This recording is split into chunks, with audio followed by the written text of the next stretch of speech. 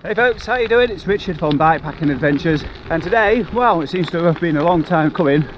Been resting and recovering from the Pan Celtic a couple of weeks ago now. I'm out on the gravel bike.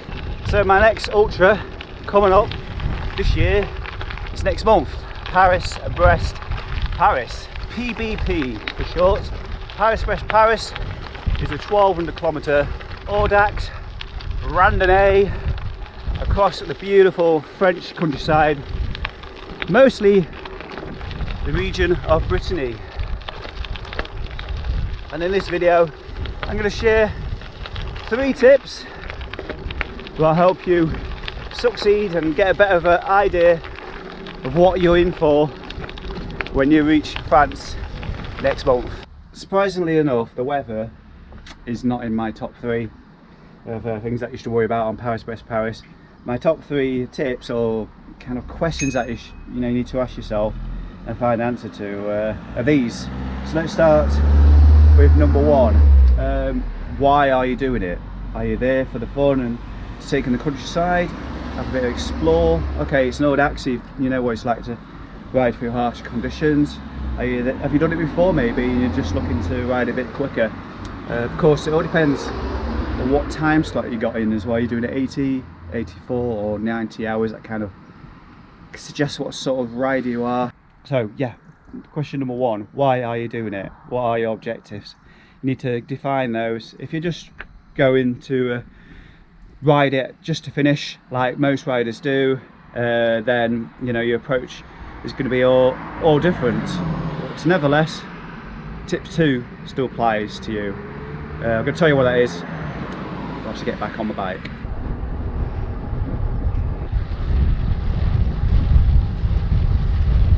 Okay, going back to my first tip, again, just briefly, finishing. Now, it kind of falls into two categories really. Finishing, irrespective of time, and finishing within time. So I just wanted to say, you know, if you're going to be doing PBP, you need to go the mindset, as I'm sure many people already know, that you can be there to finish it and within time.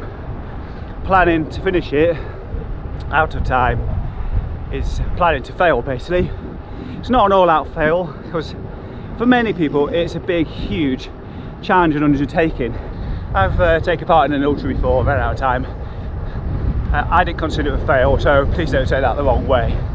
But at the start of events such as Paris Brest Paris and need to go out there with 100% uh, confidence, yeah.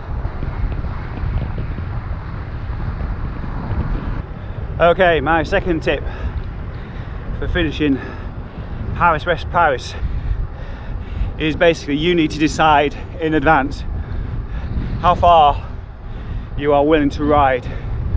Try and ride as far as you can every day until you finished it.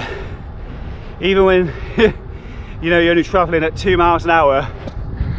As long as you're going forward those miles are crunching down. When I did Paris Brest Paris for the first time in 2019, that's the approach I took. Think of it as three 400s. So I rode to Loudéac, I think, was the first stop that year on the way out to Brest. I think it was like 440 kilometres or thereabouts.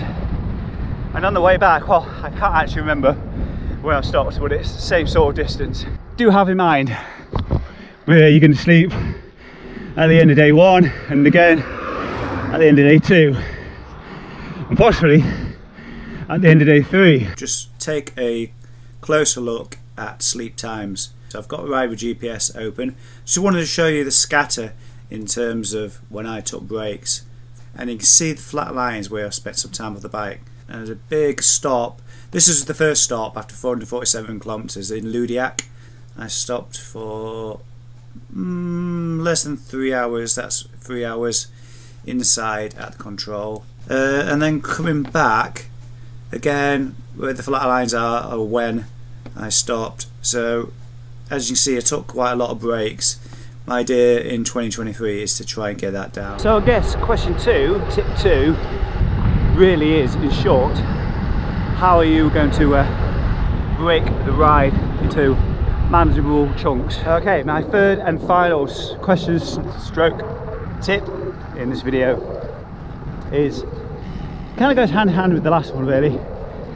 So when you think of splitting the ride into manageable chunks, most people think, okay, at the end of each chunk, he's talking about sleep. I'm thinking about sleep. But that is not always the case. They don't marry up that way at all in the ultras that I have done. Just because you've reached 400, you're not easily going to find the most perfect hotel, B&B, checkpoint, bus shelter, wall, anything like that. It just doesn't happen like that. So question three is how are you planning to sleep? Because of course that will have big repercussions on what you carry on your bike. So you need to decide that first. Are you going to sleep outdoors, wherever you can, or you're going to sleep at the controls, or B&B? Kind of, I guess there's a key, kind of the three options really, or you're just going to sleep in the day. Maybe that's a fourth. If you're doing Paris Brest Paris for the first time, I'd probably recommend sleeping at the controls. Now I'm saying I'm saying that how I'm saying that out of hindsight and previous experience because in 2019 that's not what I did. So those were my first three tips in this series of Paris-Brest Paris videos. If you've liked this video, do give it a thumbs up, subscribe and click that notification bell so you don't miss out on any of the other series of PBP videos coming up and I'll see you in the next one. Take care, bye bye.